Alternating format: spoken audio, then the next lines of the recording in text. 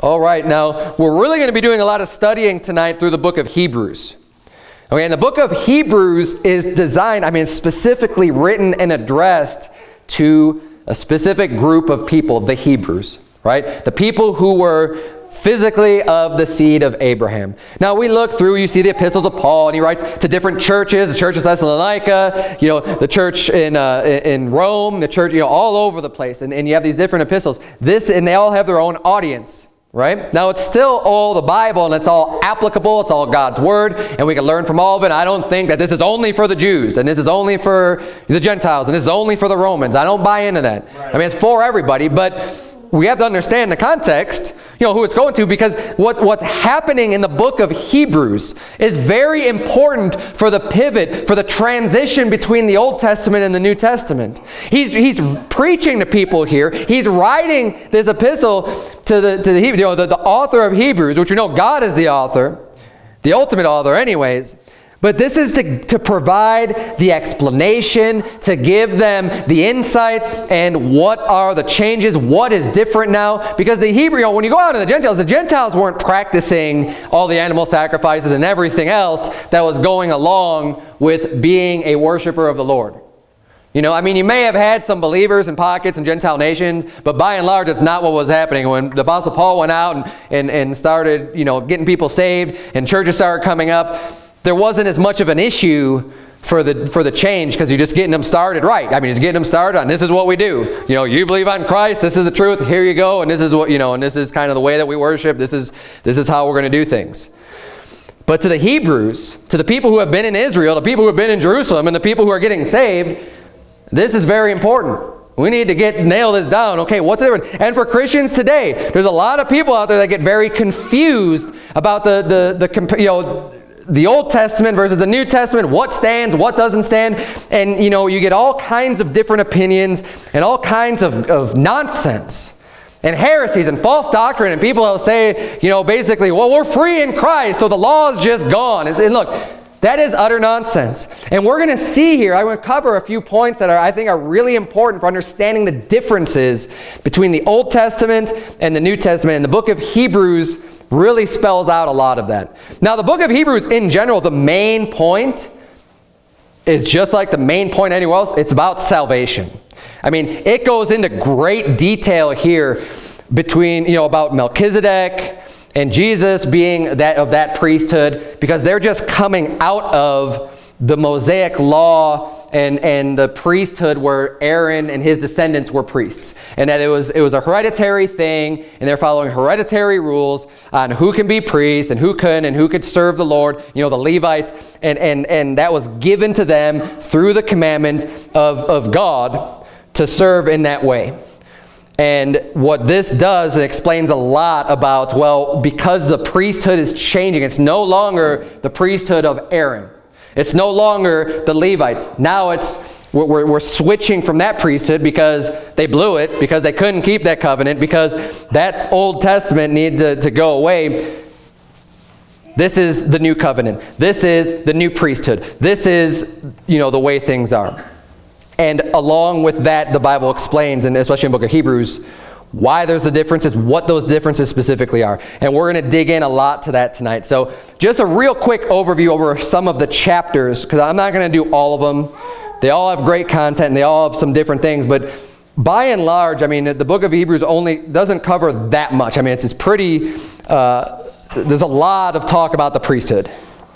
And you said, you know, Melchizedek comes up over and over and over again throughout the book of Hebrews. Hebrews chapter 3 introduces Moses and Jesus. And that's where you start to really get the contrast between the Mosaic law and what Jesus is doing. And, you know, and, and, and at no point is it ever contradictory. Is it ever saying that, you know, Jesus is getting rid of the Mosaic law. What it is more, it's saying that it's the, it's the fulfillment. It's saying, you know, in, in Hebrews 3, I believe it is, where it's talking about Moses, you know, how, how great and, and, and, you know, and, and how great the law was and everything that he did, but how Jesus is so much greater than Moses, just as much as he that built the house is greater than the house itself. And so it kind of introduces both of them there, saying, hey, Moses was great. Hey, Moses gave us the law of God. Amen and amen. He was a great man of God, but Jesus is so much better. Like, this is what we're dealing with here. And there's no contradiction at all. It's just, it's just illustrating that and explaining that. And this is where the beginning of the explanations of the Old Testament of the law and what they meant then and what they mean in the New Testament. And that's really where you start getting into this. Is it kind of begins in Hebrews chapter 3. You get into Hebrew uh, in chapter 5, it starts, um, you know, Hebrews 3 uses Moses and Jesus. Hebrews 5 then brings Aaron into the picture.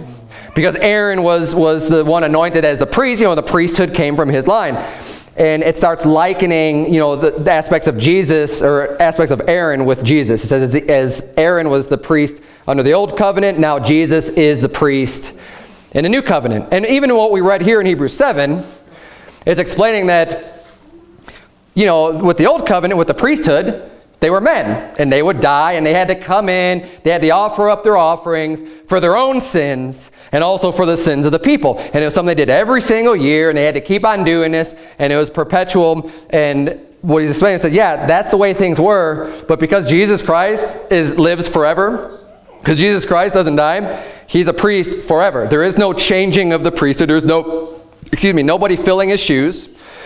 And the sacrifice that he made is so much better than the sacrifices that were being offered unto God that he made that sacrifice once for all. He did it one time and it paid everything. And you know, that's just kind of a brief overview of that. And, and, and the verse I want to point out here in, in Hebrews 7, verse 12, says, For the priesthood being changed, there is made of necessity a change also of the law.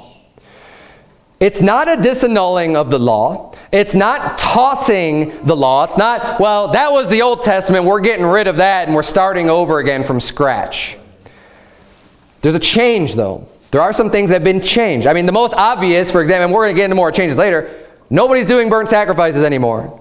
Nobody's doing that. I mean, the Jews aren't even doing that. Nobody does that. Why? Because there's been a change in the law, and that was one of the changes. We'll get into more of the changes later, but it's important that we understand this because so many people are teaching this.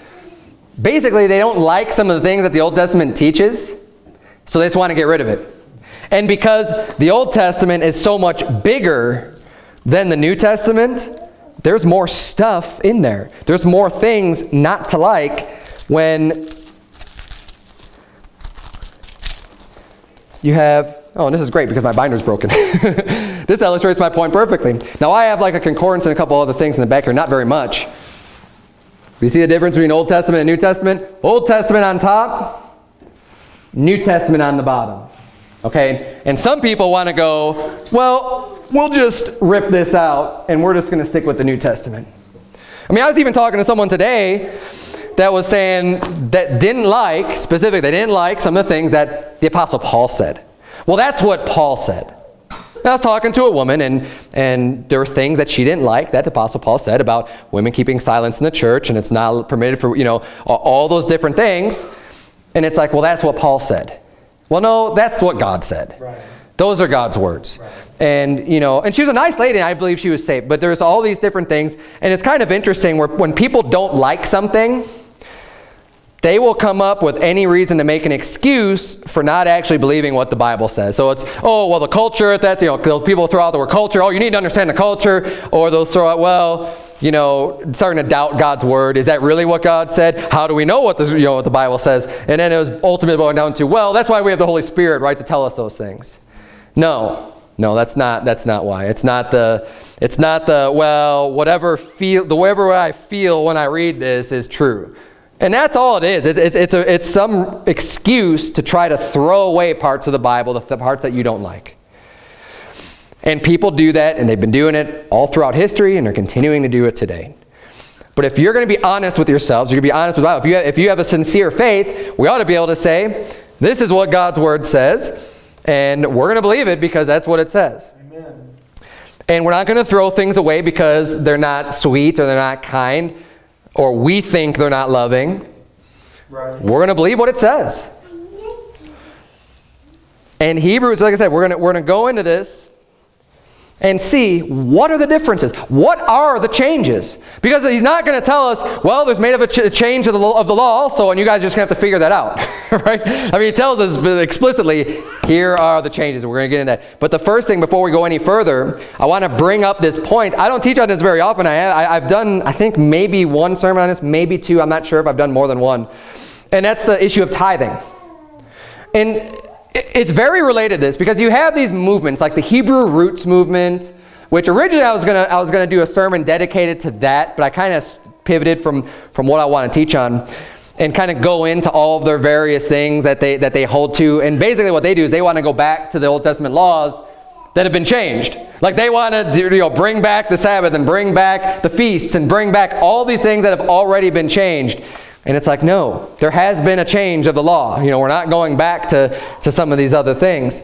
And one of the things that's very common, though, among the Hebrew roots type movement and, and other, other movements as well, the home church movement uh, is another one, where they say that tithing was something that was only for the Old Testament. That was under the Levitical priesthood. It was to take care of the Levites. And it wasn't to take care of the Levites? Yes, it was. It was to help them because they dedicated their life to serving the law, to serving God, and, and to performing uh, the sacrifice and doing all these things and, and working full time in the service of the Lord. So they were to be taken care of. They didn't have a physical inheritance. Like the, the, you know, the rest of the children, the, all the other tribes had inheritance. They received land. They received you know, their inheritance where they can work, where they can cultivate, where they could you know, grow crops, where they could have animals, where they could do all these different things. The Levites didn't have that. Why? Because they were working for the Lord full time. They're going to be doing the service of the Lord, taking down the tabernacle, putting it up, you know, performing all the sacrifices, all that stuff. So they're going to be taken care of. And it made a lot of sense. And that's where people will say, well, see, because that was, you know, what part of, you know, one of the reasons, and that's not the only reason, by the way, of the tithe. The tithe also took care of the widows, it also took care of the fatherless. It also took care of basically those who were in need that needed to be supported by someone. They were supported through the church, right? Through, through the service of God. And it's interesting because when you look in the New Testament, the church is responsible for all of those things. The church is responsible for, for compensating and, and taking care of the people who are working full-time for God and for the widows, the widows who are widows indeed. That's why it gives us a whole, you know, all the, the um, qualifications to, to consider. Is someone a widow? Because if they have family members, the family is supposed to take care of them. And guess what? It's the same way in the Old Testament. If they had family members, the family members supposed to take care of them. But widows who are widows indeed, they're going to be taken care of through God, through, through the church. All of the same reasons exist today that existed back then for the tithe. And um, What's real interesting is here, and we see this even in chapter 7, that's where I start off reading the whole thing. We see tithing was happening to Melchizedek from Abraham before the law of Moses was ever even given. There was a tithe paid to Melchizedek. So you say, yeah, but there's a change of the priesthood because the tithes were under the Aaron, the, the Aaron priesthood, the Aaronic priesthood. Now we're under Melchizedek. Well, guess what? Melchizedek received tithes. So if you're going to say, well, because of the change in the priesthood, now there's no more tithing, well, who's what's the priesthood we're under now? Melchizedek. Did Melchizedek receive tithes? Yes, he did. And I believe that's one of the reasons this is even brought up in this chapter. It says there's a change in law, but it says that Melchizedek received tithes.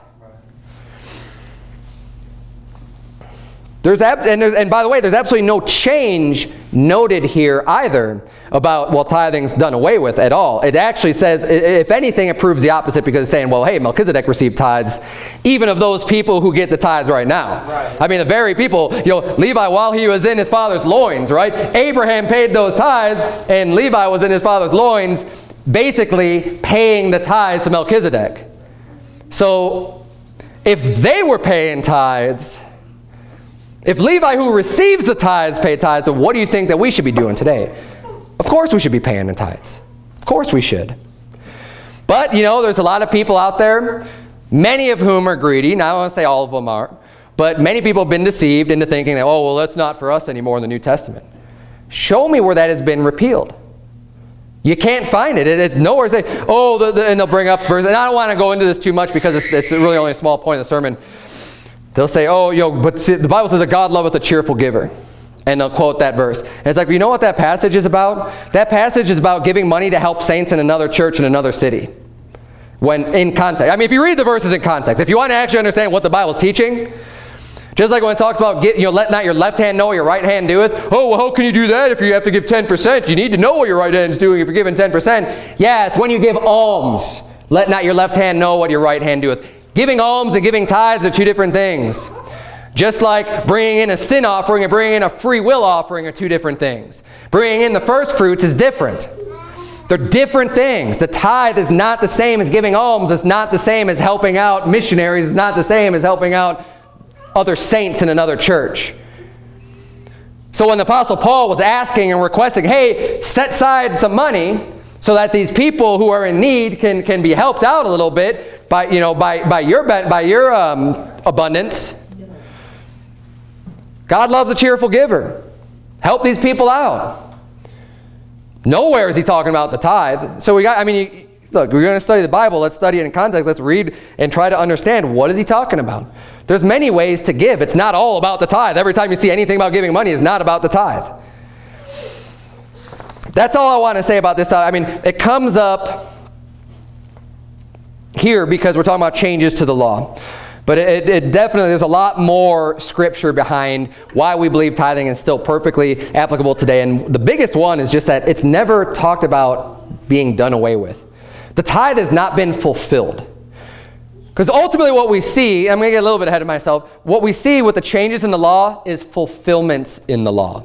It's what has been fulfilled, what, what is no longer needed because honestly the things that were needed back then were really just giving us a picture and, and, and teaching a truth, excuse me, that, we're, that is to come. Right. And we're going to see that. Turn if you would to Hebrews chapter 8. We're going to see that here.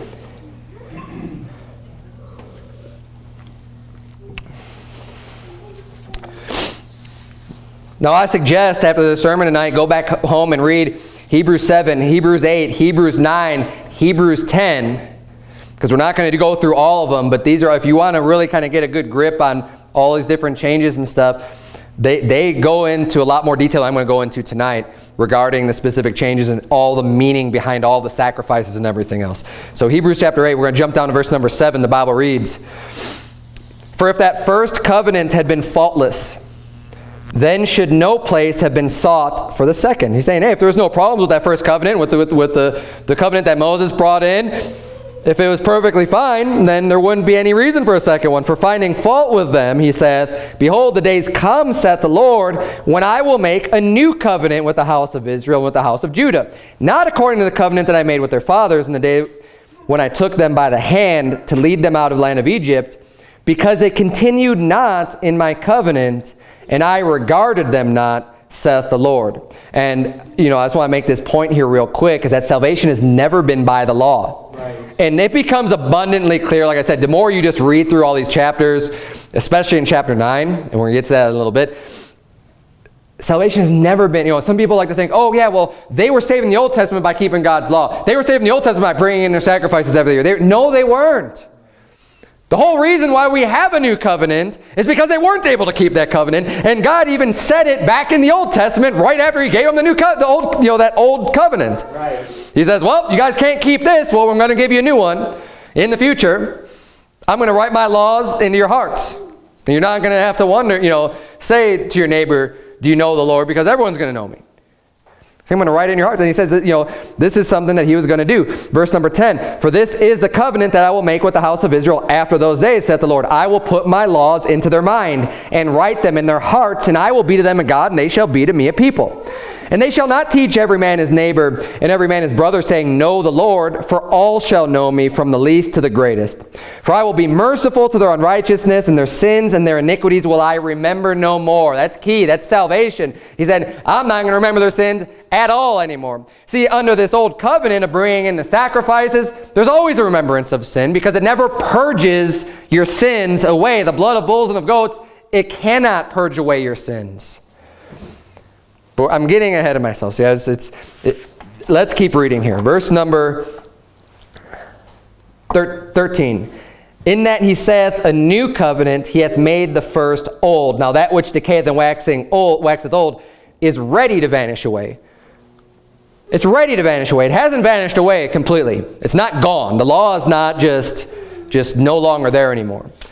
But it decays and it's waxing old. It's ready to vanish away. Turn if you would to Hebrews chapter 9, verse number 1. Keep reading here. Then verily the first covenant had also ordinances of divine service and a worldly sanctuary. For there was a tabernacle made, the first wherein was, in, wherein was a candlestick and the table and the showbread, which is called the sanctuary. So it's saying the first covenant under the Old Testament, there was ordinances, there were rules, there were some commandments, there's laws regarding the divine service, the service to God. That would be the offering up the sacrifices, the meat offerings, the drink offerings, all of that stuff, right? And a worldly sanctuary. There was a sanctuary.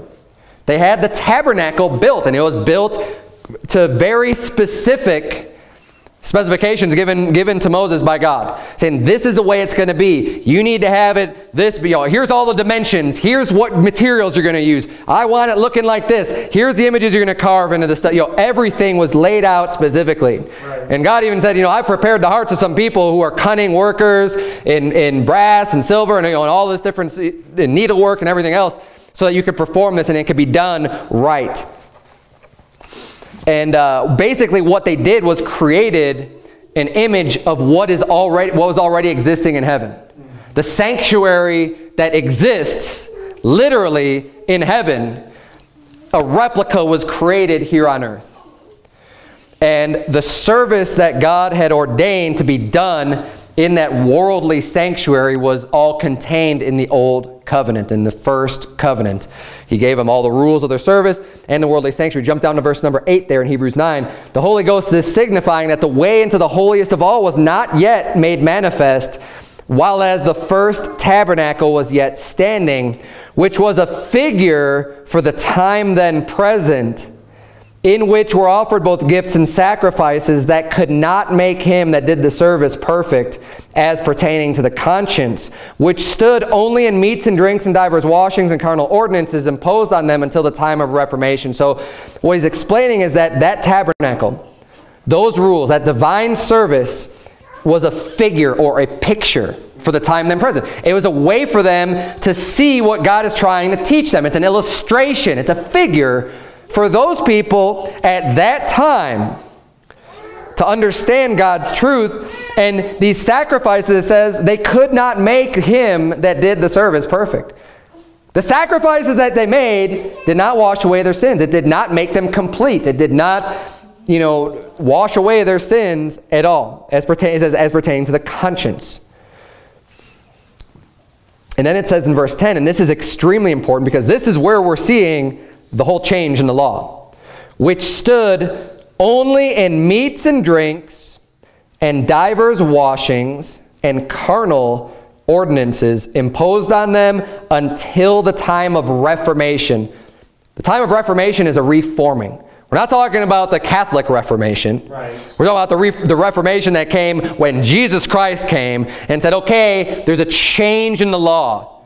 He's reforming the law. He's making the changes here because under the, the, the Aaron, the Aaronic priesthood, this is the way they do the service. But those, those things were just a picture. Now I'm here. See, this, the, the pictures that, that was being painted was, was the lamb sacrifices, the blood being shed, the sprinkling upon the mercy seat, all of that stuff was a picture for, of Christ who was to come. And when Christ offered up himself, that set the final sacrifice, that lamb sacrifice, his blood was shed on the ground. Not a bone of him was broken. He was perfect. He was sinless. He was without spot like the lamb is supposed to be for the Passover lamb. His body was burned or his soul was burning in hell. They buried his body in a tomb. Burnt with fire. That's what's supposed to happen to the Passover lamb. Make sure it's not sodden with water. Make sure you don't boil it. Make sure you don't do anything else with it. It needs to be roast with fire. And anything that doesn't last until the morning, you burn in the fire. Very explicit. Jesus fulfilled that picture Because all it was was a picture. The lamb that was being killed every year for Passover was just a lamb, just an animal, just a creation. The blood was being shed on the ground, and all it's doing is just continually reminding you of what's to come. The better covenant is coming. The better covenant is coming. And it is to help people understand that. The Reformation came with Christ, and he, it says right here, it was meats and drinks, divers washings, and carnal ordinance. Carnal means fleshly, fleshy, you know, fleshly type of ordinances. Now, which animals you sacrifice and the way that you do it and everything, those are carnal ordinances. When you look at the meats and the drinks, what they were allowed to eat, they had dietary restrictions, as well as meat and drink offerings that were given under this priesthood, and of course the divers washings. The uncleanliness, the, you know, you're unclean until even when you do this and when you do that, and you need to do these washings and, and the different rituals that were associated with that. Those were the things that stood until the time of Reformation, until the time of the change. And this is explicitly laid out for us. This is where the change comes in. Let's jump down to verse number 16 here. We're going to keep reading. For where a testament is, there must also of necessity be the death of the testator. For a testament is of force after men are dead. Otherwise, it is, no, it is of no strength at all while the testator liveth. Whereupon, neither the first testament was dedicated without blood. For when Moses had spoken every precept to all the people according to the law, he took the blood of calves and of goats with water and scarlet wool, and hyssop, and sprinkled both the book and all the people, saying, This is the blood of the testament which God hath enjoined unto you. Moreover, he sprinkled with blood both the tabernacle and all the vessels of the ministry. And almost all things are by the law purged with blood. And without shedding of blood is no remission. It was therefore necessary, look at this, that the patterns of things in the heavens should be purified with these but the heavenly things themselves with better sacrifices than these. So the pattern that was made here on earth of what's actually in heaven, the, the, the tabernacle in heaven, the pattern that was formed here, yeah, of course, they, they had to sanctify it with blood. They had to shed the blood because it was a picture of what was going on in heaven. But see, they couldn't offer the better sacrifice. Said this is all they had to work with. They said, well, we got some animals, so we can do that. And God said, that's enough. It's going to get my point across, but it's not going to actually do the work that needs to be done for your sal salvation. Right. And that's where Christ comes in. It says, For Christ is not entered into the holy places made with hands, which are the figures of the true. Again, it's saying it's a picture, it's a figure of the true. But into heaven itself, now to appear in the presence of God for us. And it goes on and on. Jesus Christ, when he died on that cross, he shed his blood, he went to hell for three days and three nights, rose again from the dead. And when he ascended up into heaven, he sprinkled that blood, his blood offering on the mercy seat. He, you know, the same way that they performed the ritual here on earth was performed up in heaven, except with the perfect sacrifice that only needed to be made one time. Right. And, and fulfilling all. All of those things. And, and the things that we don't observe today, the very reason is because it's been fulfilled. It was a picture. It was an understanding showing up to that point what still needed to happen. Once it's happened, there's no more point. Now we look back on what's happened. Now we have other ordinances that we look at today, such as observing the Lord's Supper and his body, you know, the, drinking the, the, the wine and, and, the, and eating the bread that represents his blood and his flesh that was given for us instead of the Passover. And it's a way of looking back and, and honoring and recognizing what he's done for us. And again, taking the communion, right, participating in that, it doesn't save you. It doesn't wash away your sins. It doesn't do any of that. It's another picture. It's another representation of something that happened. Now, it's something that we do, and we in, in this church, we do it once a year. We do it every year as a way to not forget, as a way to look back, as something that has been ordained. But it's not something that, um, that saves you. Right. Now let's go to Hebrews chapter 10.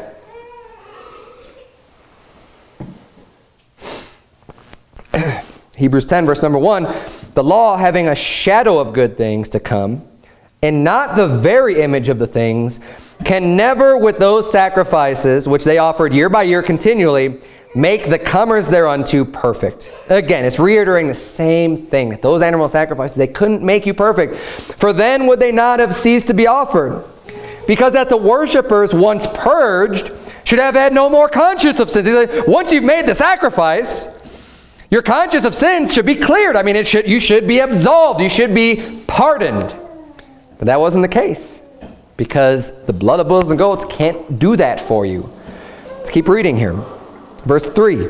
But in those sacrifices there is a remembrance again made of sins every single year. Every year they do that. For it is not possible, verse 4, for it is not possible that the blood of bulls and of goats should take away sins.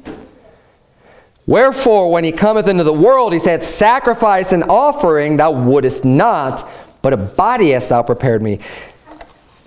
The blood of bulls and goats never have been capable of taking away sins, and that's why it's, it's explaining when Jesus came into the world, God's not looking for the sacrifice and offering. He said that's not what it's all about. He didn't come here to show us, see, I'm going to offer up the perfect, you know, these sacrifices, I'm just going to offer up these lambs because that's what the law says, and that, you know, and, and that's what I'm here to do. No, he came to fulfill that. And it says that, um, you know, sacrifice and offering thou wouldest not. It means you didn't want me to do that, but a body hast thou prepared me. In burnt offerings and sacrifices for sin thou hast had no pleasure. That doesn't satisfy God. That's not what he's looking for to atone for your sins. He's not looking for the blood of bulls and of goats. Then said I, Lo, I come, in the volume of the book it is written of me to do thy will, O God.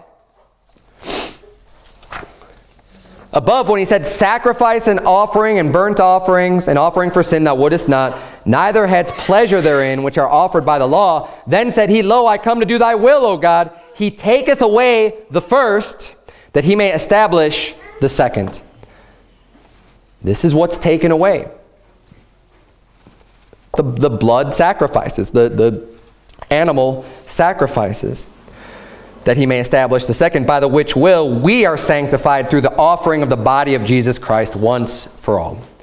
We are sanctified through Jesus Christ, of course, his one sacrifice. He's replaced the animal sacrifice. Now he's got the more perfect sacrifice, and we are we are receive our sanctification once for all time.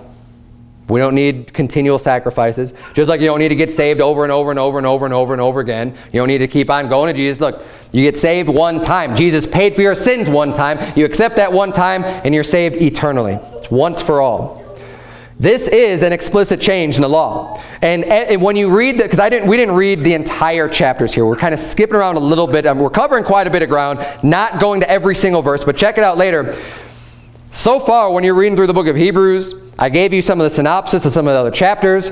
Even in Hebrews 7, you know, it's talking about the tithing. It never mentioned any changes. The changes are really mentioned after that, and here's an explicit change. Said he takes away the first, he may establish the second. This is where the actual changes come into the law. The sacrifices were taken away. They're part of the carnal ordinances. Look at verse number 16 here in Hebrews 10.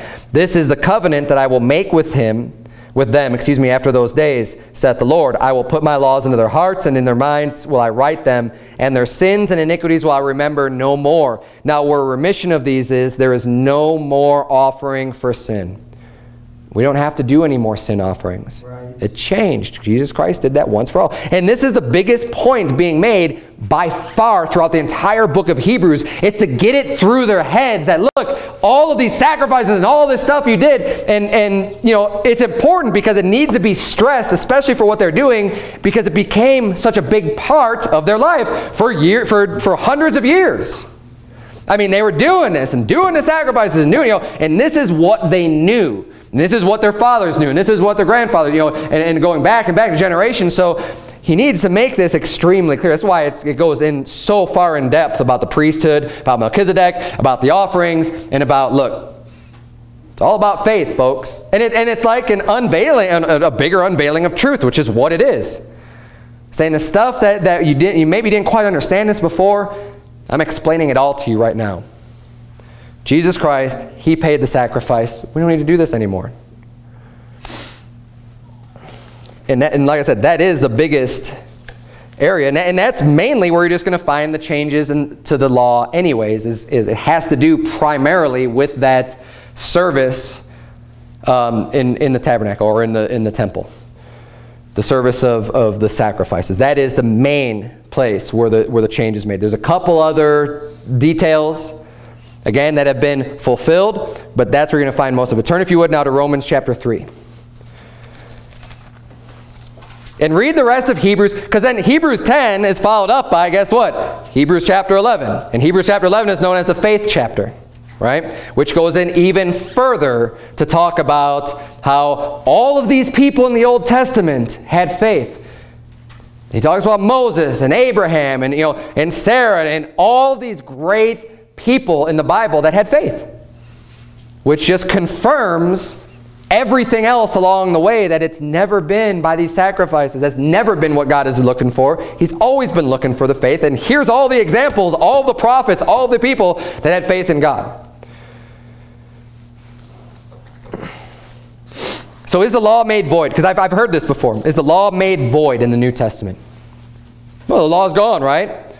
No. And actually, where people even get that, we're going to get to this in a, in a couple minutes in Romans. It boggles my mind that you could even come up with this, but, it, but it, what it shows is the deceptiveness of a lot of preaching out there when you're not digging into scriptures. Right? We're going to a lot of scriptures tonight, and we might run a little bit late tonight, and I'm not going to apologize for that because this is important. Now, this is a little bit more of a deep study, and I hope you could stay with me, but it's extremely important that we have a full grasp and concept of this because a lot of people are out there trying to teach you that law's done. Jesus Christ got rid of the law. We're under grace, man. The law is gone. False. Look at Romans chapter 3, verse 28. Great soul winning verse. I use this verse often. Romans 3.28. Therefore we conclude that a man is justified by faith without the deeds of the law. Isn't that what we already saw in the book of Hebrews? Yes, absolutely. There's no change in salvation. It's always been that way. But there was a change to the law as far as doing the animal sacrifices. Verse 29, is he the God of the Jews only? Is, not, is he not also of the Gentiles? Yes, of the Gentiles also, seeing it is one God, which shall justify the circumcision by faith and uncircumcision through faith. Do we then make void the law through faith? God forbid, yea, we establish the law. So right, very clearly, Romans 3.31, do we make void the law through faith? Because Jesus Christ has come and we need to have faith in him to be saved. Does that mean that the law is just void? God forbid. Of course the law is not void. Yea, we establish the law. The law and the prophets foretold Jesus Christ coming. It's established through Jesus Christ's birth, life, death, and resurrection. It is established. I mean, it is, that is of God. We're not nullifying or voiding God's law at all because we believe salvation is by grace through faith in the Lord Jesus Christ. Romans chapter 4, look at verse 15. Bible reads, because the law worketh wrath, for where no law is, there is no transgression. He's saying, look, when there's not a law, if, we, if, if the law was made void, meaning it's, it's empty, it's done away with, then there would be no sin. Right.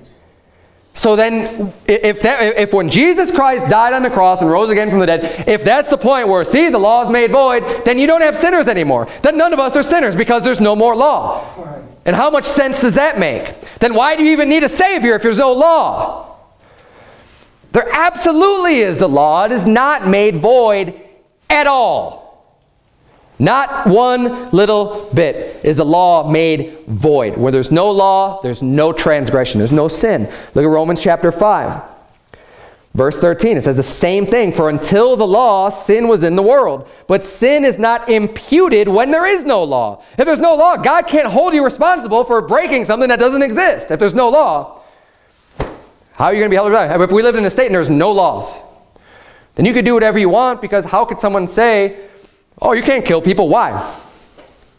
I mean, you could say you could say why, but there's no law. There's no penalty. You can't you can't hold. You know, there, there needs to be a law. There needs to be something to say you could do this. You can't do this. God created a law for us and is not void. It still exists today. This is New Testament. It's all New Testament. We're trying to understand what exists from the Old Testament. What, what has been changed? Well, is the law gone? Well, we've seen three uh, places already in the book of Romans that the law still exists and how ridiculous it would be to say that the law is void.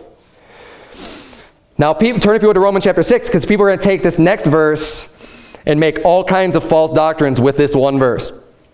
Which just shows you, and when we read this, obviously the people who teach what we're going to look at didn't read Romans 3, didn't read Romans 4, didn't read Romans 5 because they like this one verse in Romans chapter 6 and they're just going to take it and run with it. And they're not going to show you all the rest of these verses that explain the whole concept of what we're learning here. It's important that three times in these three chapters we're seeing the law still exists. The law is not void. The law is still there. Because when we get to Romans chapter 6, look at verse number 12. The Bible reads, Let not sin therefore reign in your mortal body, that you should obey it in the lusts thereof.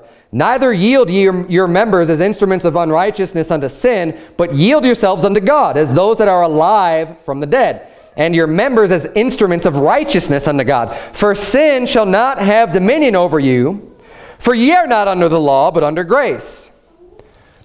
That's the verse that they like to use. See, you're not under the law, you're under grace. See, there is no law for you because you're not under the law, you're under grace. Well, is the law made void? Is that what that's saying? No. This statement, ye are not under the law but under grace, is not saying that the law is null and void. That is not what it means. Otherwise, it contradicts what we've already read in the same exact epistle. Right. The same exact epistle. I mean, I can pull it from anywhere else. I mean, how, how schizophrenic can you be to say, well, the, the, there's no more law? Because we're not under the law, we're under grace. But that's what these preachers are going to preach these days. Because they, they don't want to preach on sin. They don't want to offend anybody. And they don't like, they don't love God. They don't love people because they don't want people getting right with God. They want everyone just to feel good about themselves and just keep doing what you're doing.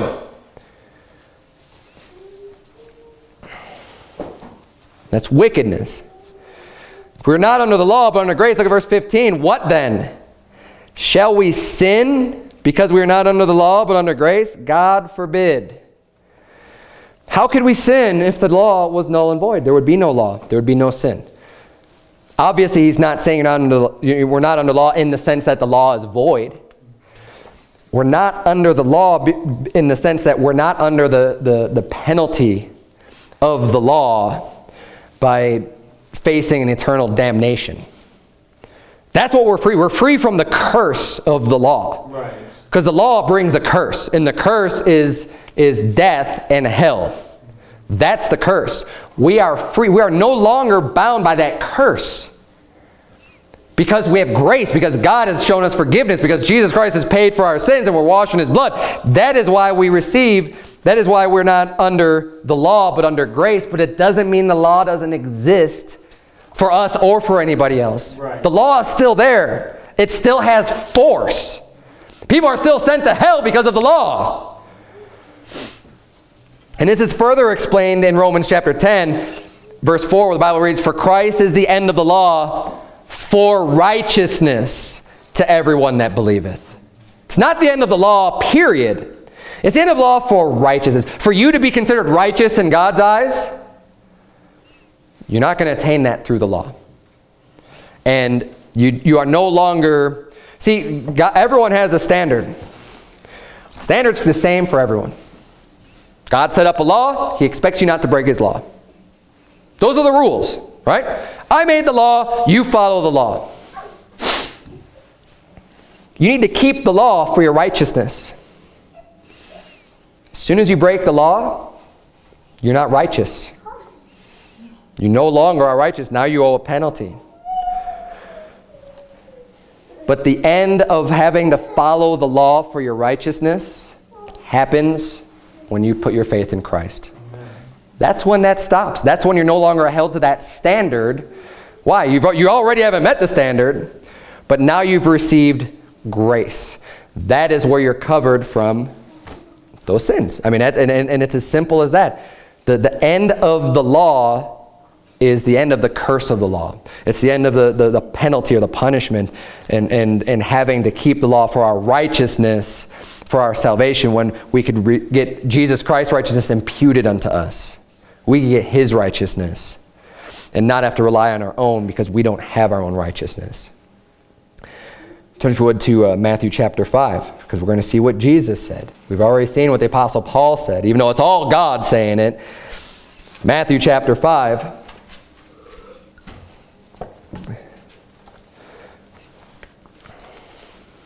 I mean, if anyone's going to explain what the changes are made, isn't it going to be Jesus? I mean, we're going to see here, is the law gone? Is the law void?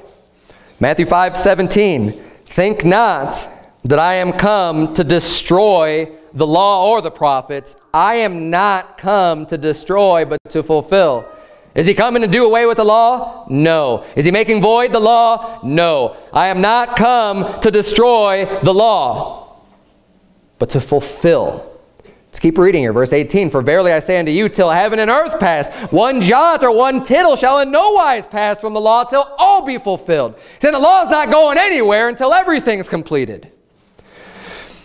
Wherefore, or who, excuse me, whosoever therefore shall break one of the least, one of these least commandments and shall teach men so, he shall be called least in the kingdom of heaven. But whosoever shall do and teach them, the same shall be called great in the kingdom of heaven.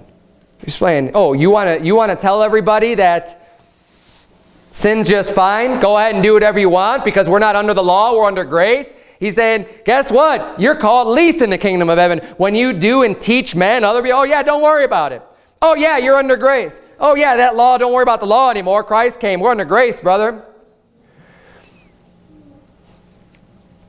He said, when you break the least of my commandments, the least of them. I expect you to keep all my commandments still, even after salvation. I expect you to keep them. And when you're teaching other people, oh, not a big deal. We don't have to, we don't have to mess with that law anymore. He says, if you're saved, you're going to be least in the kingdom of heaven. I mean, your, your salvation's not changing. You got a free gift, right? But if you think that, that it's okay just to break God's commandments and just not, not a big deal, not a problem, you got another thing coming. He says, but if you follow him, Smallest commandment. You, you, you, what, you know, obey the commandments. Hey, you're going to be great in the kingdom of heaven.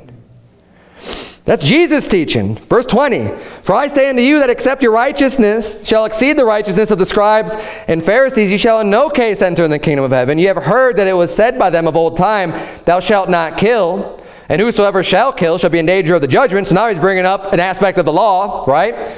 Saying, hey, the law says not to kill.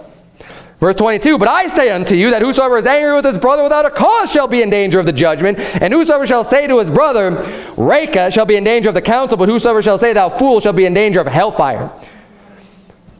Doesn't sound to me like Jesus is getting rid of the law one bit, and if anything, he's making it even more strict. He's saying, you know what, yeah, you heard him say not to kill. Now I'm saying don't even get angry with your brother without a cause. Right? Jesus did not say the law was void anywhere. In fact, he said the exact opposite. The Apostle Paul did not say the law was void. The book of Hebrews does not say the law was void. The only changes we have seen explicitly laid out is the meats and drinks and divers washings and carnal ordinances. There's three ways to look at what is expected of us in the New Testament. Three ways that I could think of at least. You could look at the New Testament and say, well, only what's stated in the New Testament is what we need today. Some people do that. And I showed you, you know, the two books. Well, all we need to worry about is the New Testament. Don't worry about the Old Testament. That's one way of looking at it. Another way is to say, well, everything in the Old Testament and New Testament, we have to watch all of it. It all still stands today. There's no changes made.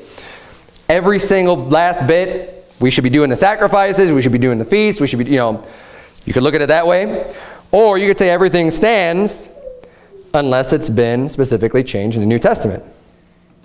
Now, number one doesn't make much sense. Things not mentioned in the New Testament, right? If you're, if you're going to say, well, only what's, what Jesus talked about, or only what the New Testament says, well, there's a lot of things not mentioned in the New Testament.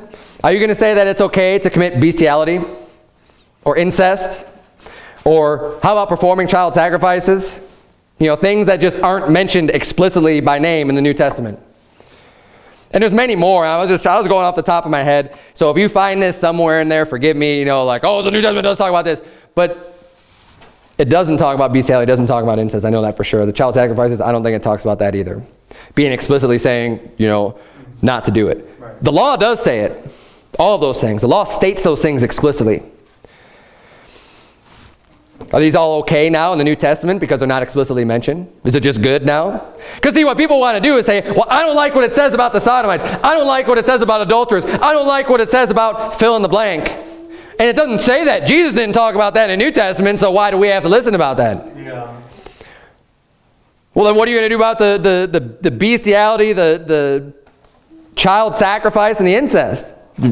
Because it's okay too then, right? Because we just want to be permissive about everything and just throw away the majority of your Bible. Doesn't make any sense. Number two doesn't make any sense either. Because then why would you not do the animal sacrifices? I mean, if there's been no change at all, we just need to observe everything. First of all, you're throwing away the clear scriptures where we saw about the change to the law, that there is a change. But secondly, then I don't know anybody who's performing animal sacrifices today. I don't know anyone who's building an altar of earth, right? And, and getting lambs and, and bulls and goats and performing all these in these sacrifices and finding a Levite and you know, getting him to do all this stuff. Nobody does that today. So if that's what you believe, then you're a hypocrite because you don't really believe it. You're, you're just saying whatever, you know, whatever. And number three is, is the right way. I mean, it's, it's the only thing that even makes sense. Everything stands in the Bible and all of God's Word unless it's been specifically changed, unless there's been something said to say, yeah, you know what, here's a difference here. Here's a change. Turn, if you would, to, um, let's see where I want you to turn. We're almost done. We're, we're doing all right one time. We're almost done. Let's, we'll turn to all these references. Turn, if you would, to Acts chapter 10.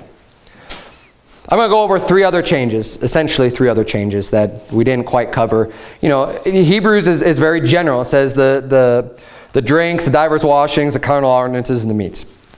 Those are explicit, but, you know, that's, that's all it really mentions in the whole book of Hebrews, are those things. Not very much. Not very much at all.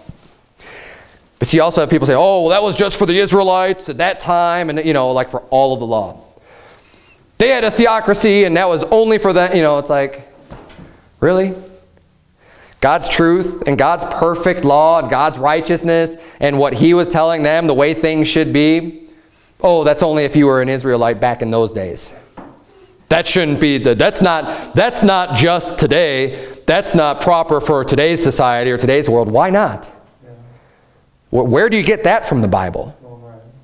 Where, where do you get God's law and God's judgments and God's punishments as being not righteous anymore today and that whatever you think is, is better? Doesn't line up. Acts chapter 10, we're going to see where the, the dietary restrictions came in. Now, the dietary restrictions, they came with Moses if you go back and read the Bible, there was no dietary restrictions. Well, there was a dietary restriction given to Adam and Eve on the one tree, right? The tree of the knowledge of good and evil. He said everything else, you could eat everything else. But that's the one I don't want you to eat from, right? So they had a dietary restriction. Well, after they were kicked out of the Garden of Eden, guess what? They couldn't do it anyway. So they were free to eat whatever they wanted. They didn't have the clean and the unclean beast or anything like that. They could eat whatever they wanted.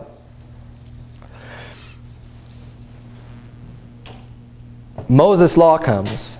Now all of a sudden, there's a big distinction and very explicit. These are the types of animals you could eat. These you cannot eat. Right? So there was prior to that, there was no restriction. Then there was Mosaic law. And then after that, in the New Testament, we're going to see that that dietary restriction has been lifted because, again, it was a figure for the time then present. It was teaching them something. It was showing them something about their sanctification that was fulfilled and changed in the New Testament under the new uh, priesthood. Look at verse number 10 of Acts 10.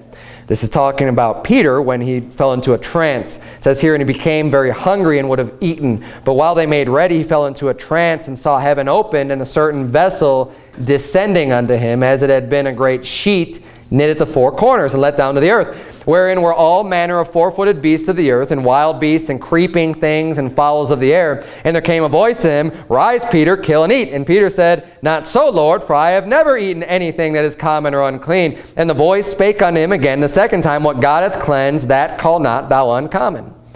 And this is a vision from God, where God is speaking to Peter in a dream, in this trance, and, and he's telling Peter, Peter, eat these animals. And Peter's saying, look, Lord, you know, I, I, I, am following your dietary restrictions in the, in the law. Like, I, am not going to, I haven't, I've never eaten anything like that before. I've never eaten anything you told me not to eat before. And he says, you know what? What I've cleansed, don't call that uncommon. Don't call that unclean. Don't call that common. Don't call that unclean. He's saying, I've cleansed that. And then, you know, later on, as you read the book of Acts, he realizes what the greater teaching is as he's called to go and preach unto some Gentiles.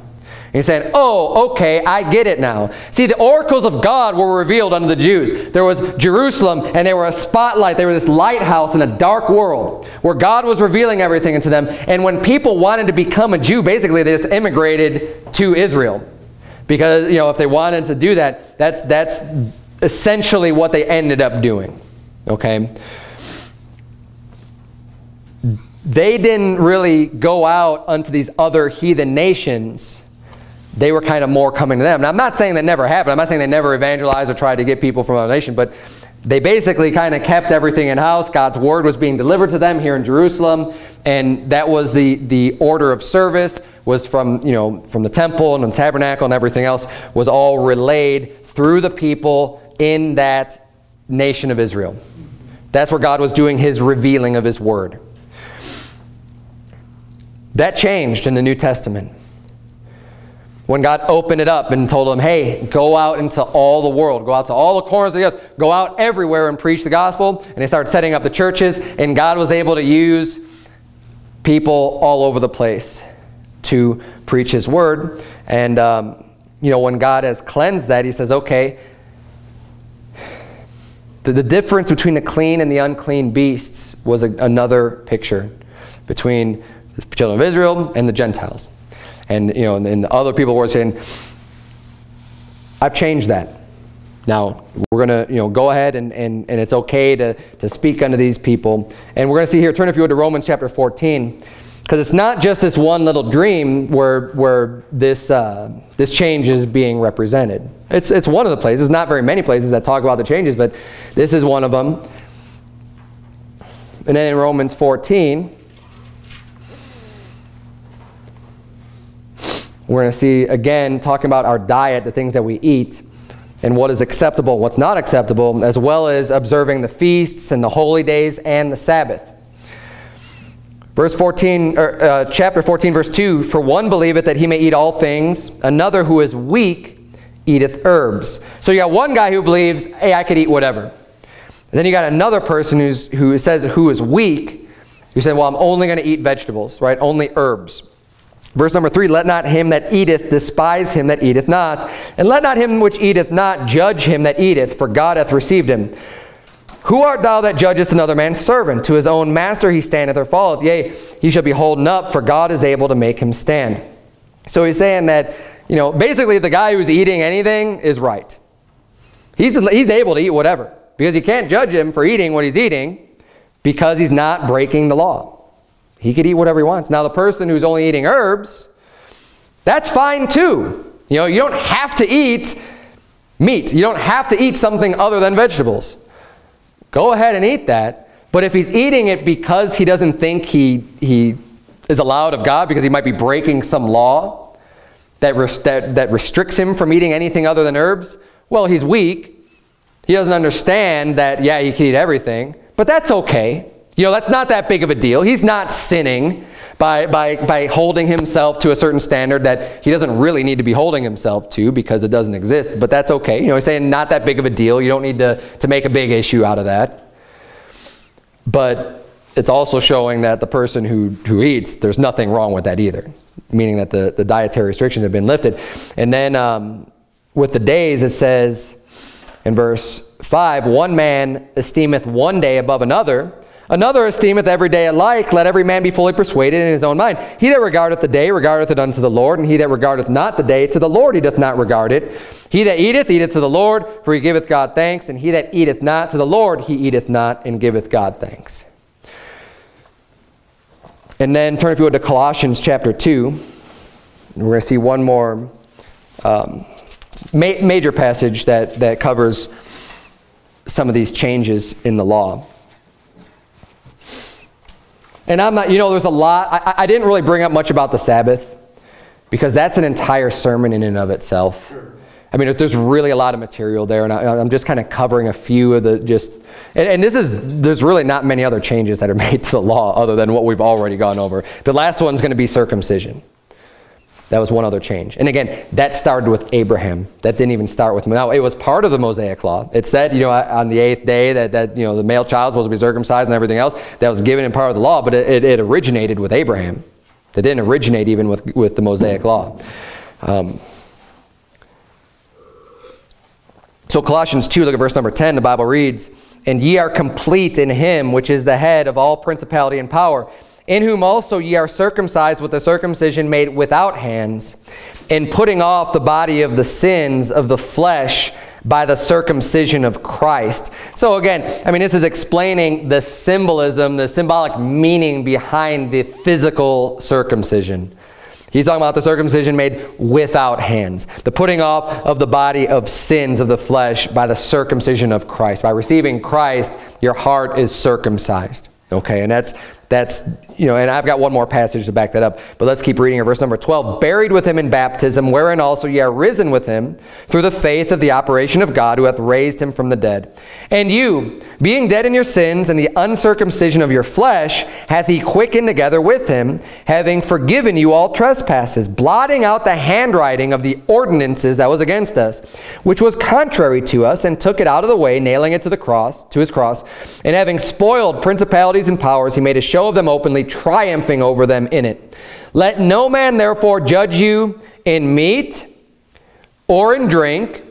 Meat and drink, we saw that in the book of Hebrews too. Remember that? Those were changed law. So don't let anyone judge you in meat or in drink, or in respect of an holy day, or of the new moon, or of the Sabbath days, which are a shadow of things to come, but the body is of Christ almost the same exact wording that we find in Hebrews saying, you know what, this was a figure for the time then present. This was a shadow of the things to come. These are the things that have changed from the Old Testament to the New Testament. We had a reason for them. There's, there's, there's a purpose for it. It's part of God's law, but the meats, the drinks, the holy days, we don't, we don't celebrate the, the feast days. We don't celebrate any of those things. The new moons or the Sabbath days those high days, the Sabbath. We don't, uh, we don't, we don't recognize those anymore as a part of the law because they've been changed, they've been fulfilled. And just quickly on the, you know, on the Sabbath day, Jesus Christ is our rest. So the, the symbolism there is that, you know, and, and it was very serious to God. Nobody works on the seventh day, on the Sabbath day. It's a rest. I don't want you doing anything. I don't want you preparing food. I don't want you getting, you know, making fires. I don't want you doing anything. It's rest showing that you can work the six days, but that seventh day is rest.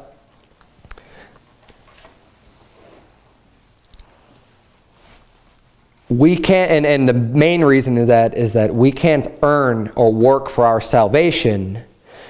We need to enter into Christ. We need to receive Christ as Savior. And when we receive Him, we enter into His rest, Amen. where we can cease from our own works. We can stop working for our salvation. We could stop trying to obey the law to be saved and completely rest in Christ. So when he came, he fulfilled the Sabbath days. We don't need to observe that anymore, and it's clearly laid out here. Like, don't let anyone judge you because you don't not work on the Sabbath day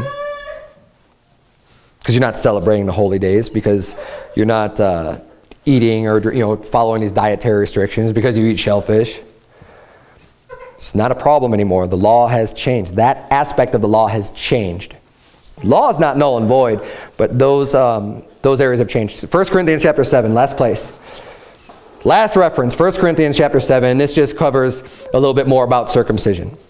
Okay, because that was another, another change made to the law meats, drinks, divers washings, carnal ordinances, holy days, new moons, Sabbath days, and circumcision have changed in the law.